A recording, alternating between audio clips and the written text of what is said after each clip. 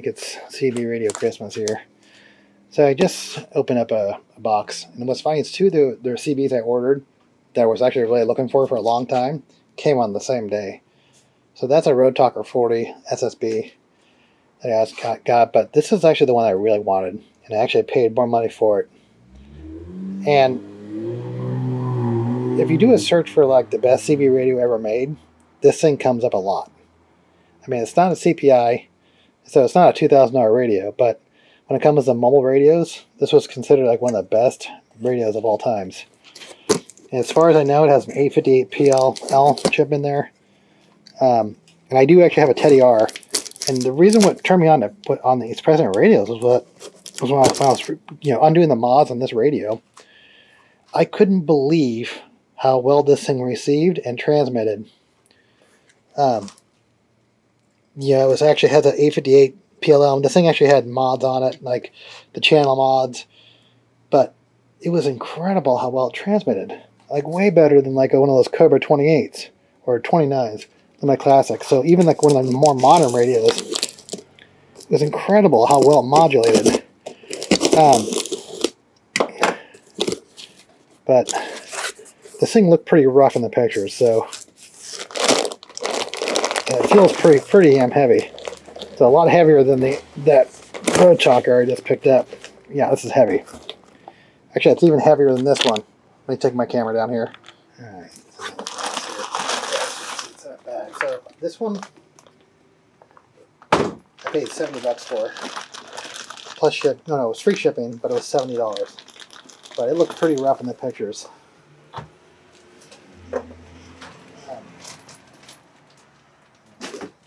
Box, uh, bag. Yeah, it looked pretty rough. Wow. But I'm sure you guys can already tell what this thing is.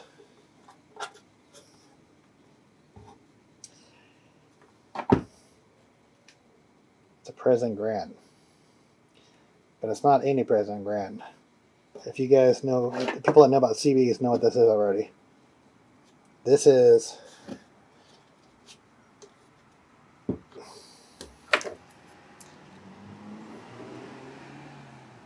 made in Japan President Grant.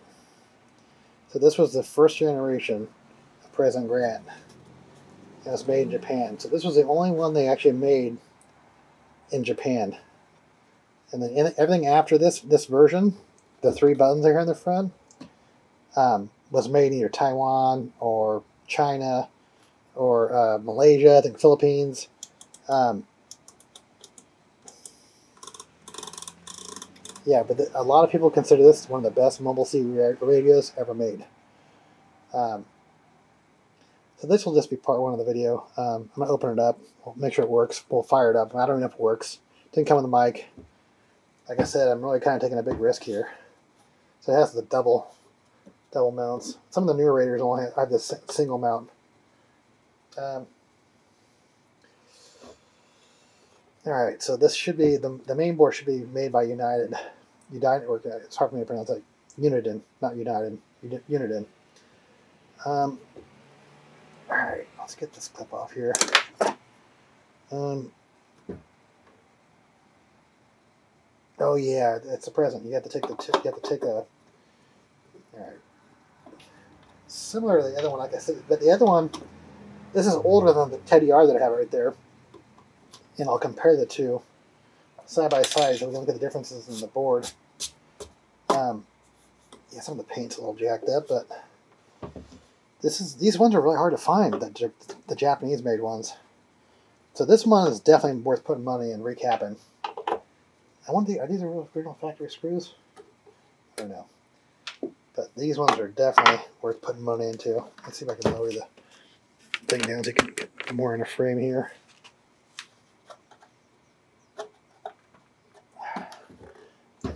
Which one comes? Okay, the top comes off first. This one screw here. Put all these screws in my ultrasonic cleaner. Hope this doesn't have a bunch of mods. Oh, there, I'm missing screws. okay, damn. These screws take off, but more than one side.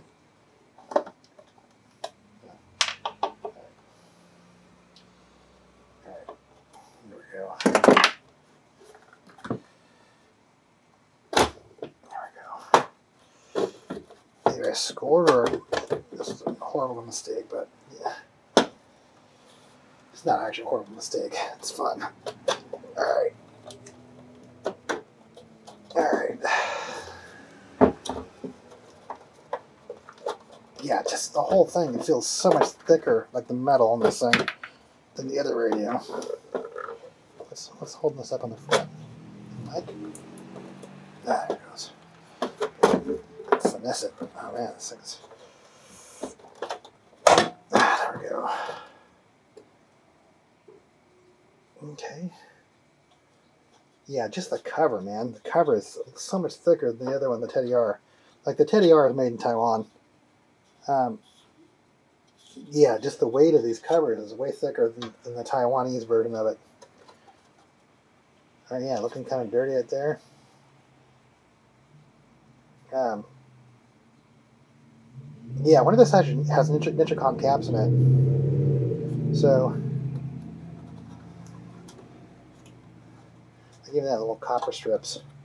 I don't see that on, on the other radios.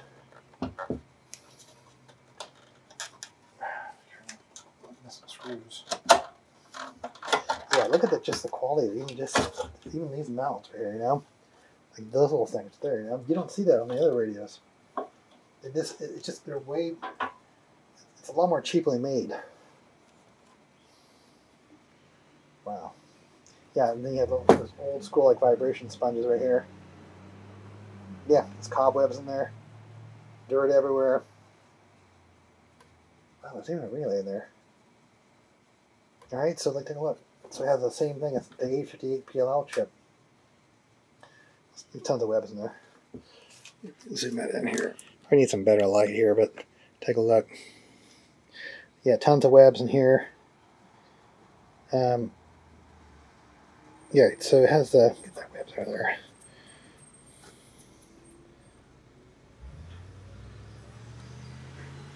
I'm looking for barn marks, explosions, bad caps blow this out of my air compressor, get the webs out of there. Um, all right, so it looks like the speaker just comes out of these screws. Um, I'm curious what, if these are Nichicons or not, the caps. Worry about even touching that speaker, the cardboard, you know. Um, yeah, it's interesting. There's a relay right there. Um, all right, here's a little side by side. Well, the speakers, the, the, the amount of the speakers is different in the Teddy R here. Zoom out here. So as you can see that it has the same D855 um, PLL chip and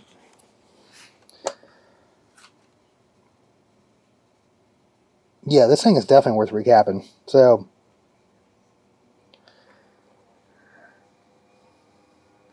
yeah, I'm looking. I'm just looking at comparison. They, they are different boards. I mean, obviously this one's SSB and the other one's not. So, um,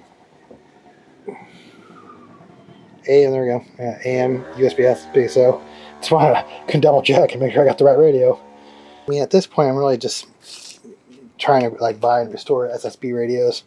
I mean, I do actually have quite a few of the uh, the, the non SSB uh, CBs, but really, I'm not going to put any money into CBs that aren't SSB anymore. Maybe for the car, maybe. I'm not sure. You know, just for mobile communications. But I was thinking about maybe getting like a newer mini radio or something. But might get a McKinley or something. But I don't want to get a really expensive CB in my in the Bronco because I don't want, want to get stolen. You know. Okay. Ooh, look at that crystal filter yeah, this actually this this this uh, Road Talker 40 that I recently bought, offer up, 40 bucks. That thing was made in Japan too, and yeah, it looks like a very similar crystal filter here. But I think this one was made by Hitachi though, um, whereas this one was made by obviously Uniden. It says right on. Um,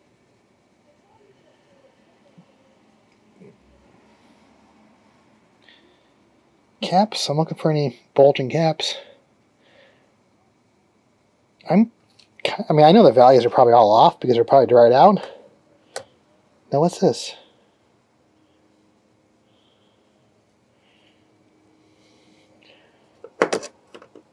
Hell's that thing? There's a transformer up here. Put the radio back here. There's a transformer. But it's not hooked to anything, I don't think. Hmm. If you guys know what that is, let me know. Hmm. I don't like when things aren't hooked up. So that means, did somebody modify something? Um, is that no, it looks like it's standard because the, the, the plating matches this. They all have the same plating. Huh. Alright, who makes those caps? Alright, so interesting things here. So the caps that are on this board are made by Tosin. I've never heard of it before. T-O-S-I-N. So I don't know if this thing has been recapped already or not.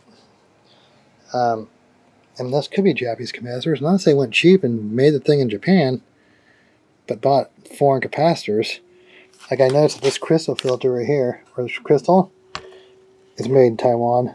So um, this is probably made in the late 70s. Um, I think 77 is when it came out. So pretty clean radio. So so far, like I said, I'm looking around. Um, I'm gonna blow out my air compressor real fast, and then we'll fire it up and see if it works. Yeah, my most of the stuff I use, I usually just do SAR. Um, but right now it's been going kind of going great. This is SDR Console. That's channel 6 right there.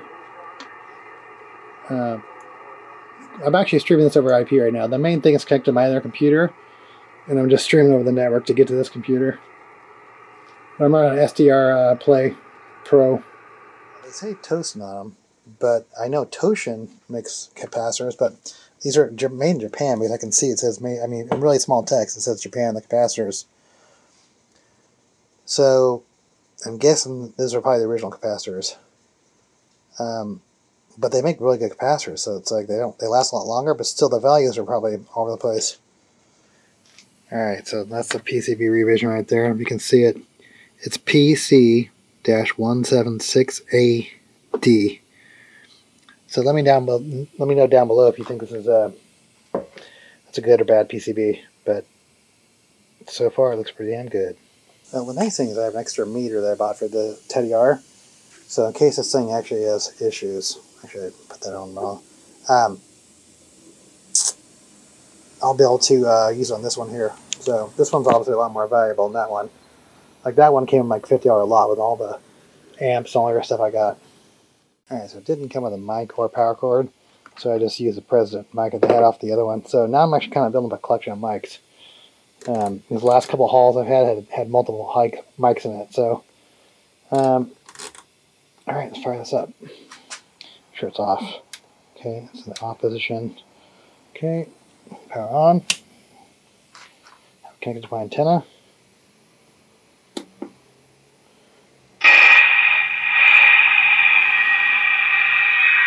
Oh, 39. What was it?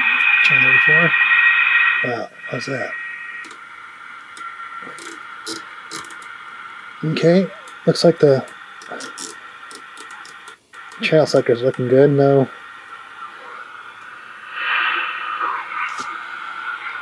Oh, it's in uh, uh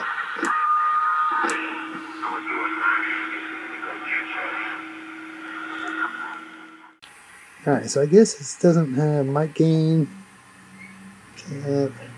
clarifier. So we can put that, that a zero? So here,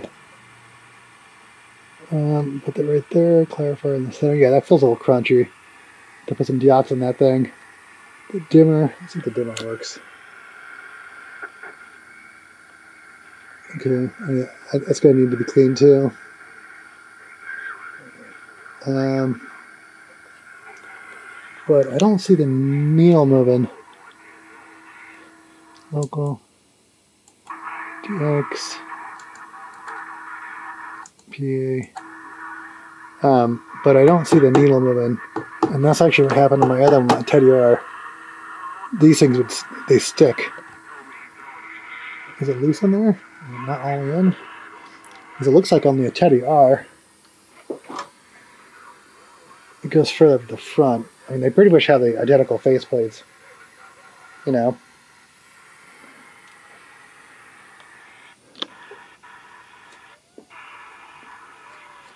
Okay.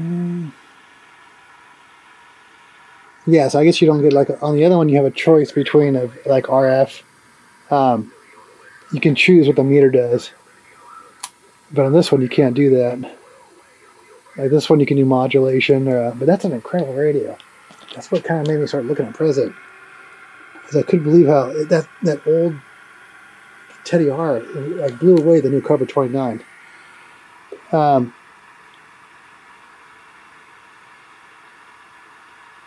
Let's do a quick transmit. See what I'm doing. Show noise on. Probably see what I'm doing. Dead key. Getting the 10 watt scale.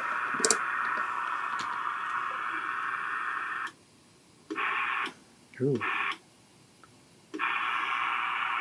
Nada. Not the, no dead key.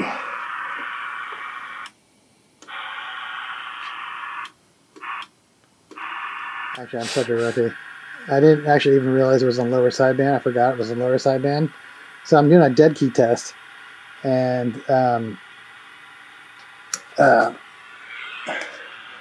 audio, audio, audio, audio, audio.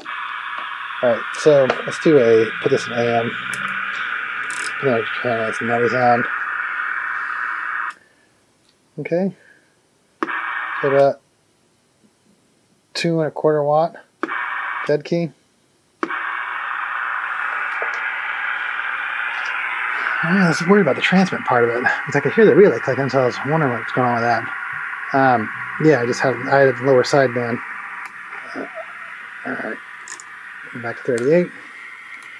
All right, looks like a fun project. So this will be part one, and I'm to be looking for a cap kit and I guess for now I'll order a second one of these and put this in there.